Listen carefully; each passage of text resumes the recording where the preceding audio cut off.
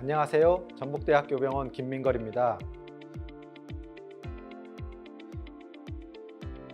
real world evidence 연구는 환자의 진료 중 수집할 수 있는 실사용 데이터를 분석하여 의약품의 안전성과 유효성을 확보할 수 있는 연구입니다.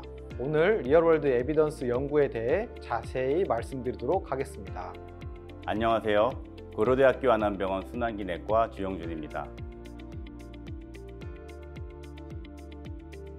우리나라는 세계 최정상의 정보통신 기술을 보유하고 있으며 이를 바탕으로 의료와 IT 융합을 통한 real world evidence 연구의 발전으로 세계적인 의학적 발전을 이루어 나갈 수 있습니다. 오늘은 real world evidence 연구의 발전 방향에 대해서 말씀드리겠습니다.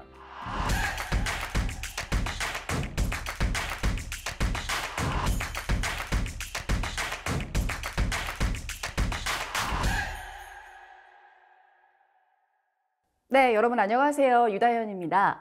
오늘은 RWE 연구의 모든 것에 대해서 알아보도록 할 텐데요. 두 분 교수님 모시고 함께합니다. 안녕하세요. 안녕하세요. 안녕하세요. 다현님, 네, 혹시 RWE 연구라고 들어보셨나요? RWE요? 사실 저는 처음 들어보거든요. 이게 어떤 건가요? real world evidence란 용어는 FDA의 21세기 치료법에서 공식적으로 사용되기 시작합니다.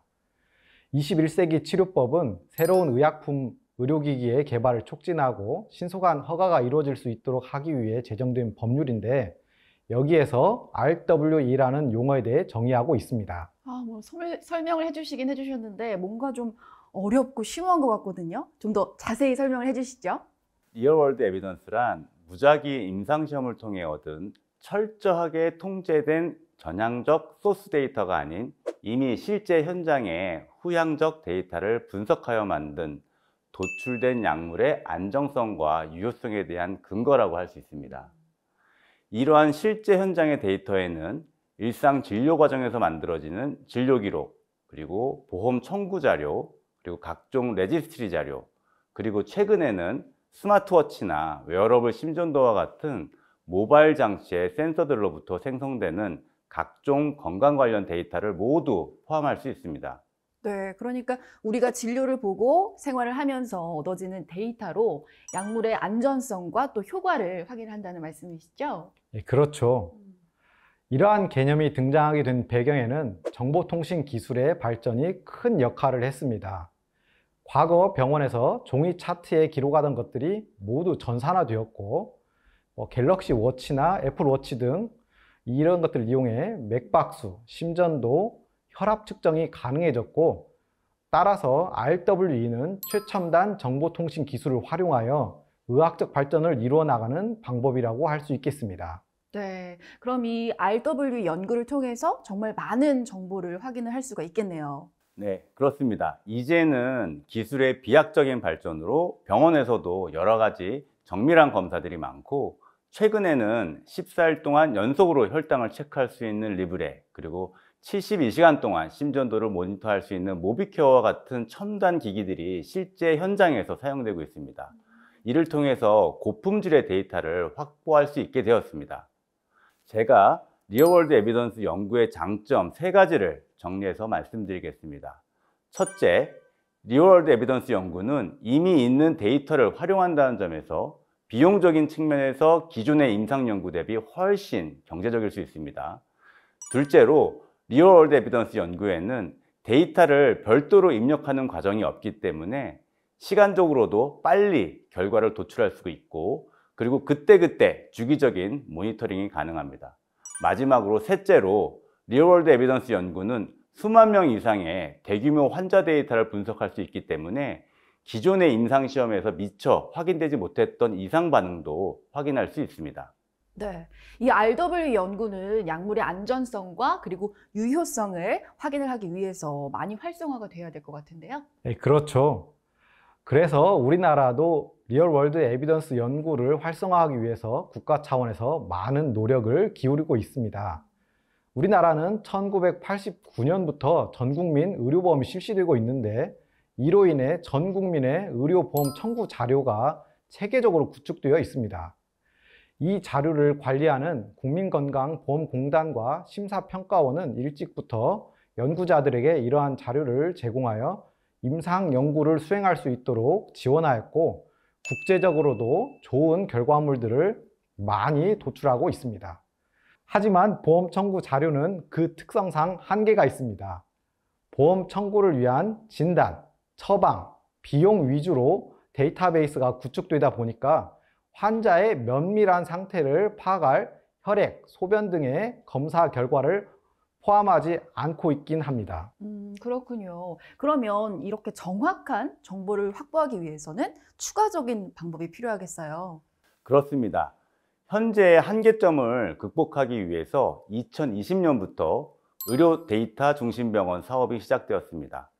현재 국내 29개 상급 종합병원과 9개의 종합병원, 3개의 전문 병원 등이 참여하고 있는 사업으로서 의료기관 내 데이터를 활용을 위한 인프라 구축을 지원하고 연구를 활성화하여 신의료기술 및 신약, 의료기기, AI 개발을 추진할 수 있도록 지원하고 있습니다.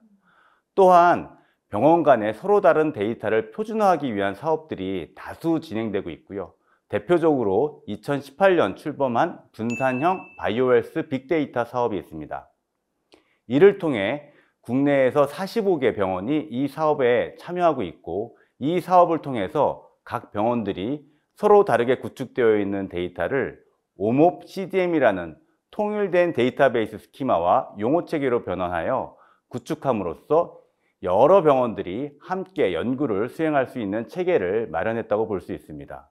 우리나라의 높은 IT 기술 수준과 인프라와 더불어서 정부의 적극적인 관심과 지원이 이러한 시대적 흐름에서 상당히 강점을 보일 수 있다고 생각을 합니다. 네, 교수님, 그런데 RWE 연구 활성화를 위해서 진행되는 사업을 보면은 대부분 큰 병원에서 진행을 하는 것 같거든요.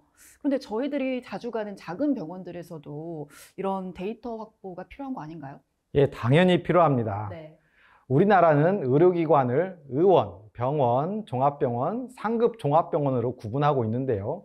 의원은 간단하고 흔한 질병에 대한 외래 진료 업무를 보는 반면에 병원 그리고 종합병원은 주로 입원 환자를 그리고 상급 종합병원은 수술, 시술 등 고난이도의 치료 기술을 필요로 하는 중한 질병의 진료를 하고 있습니다.